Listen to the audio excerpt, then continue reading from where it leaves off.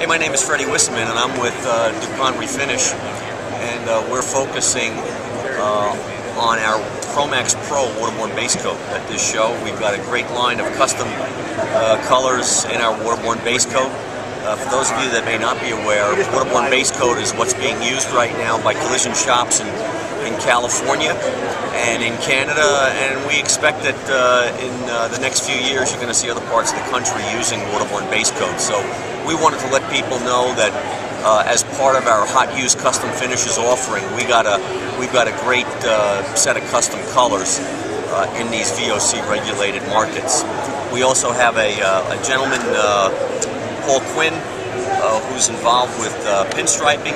He he is a, a, user of our special Hot Hues pinstriping colors, a really good line.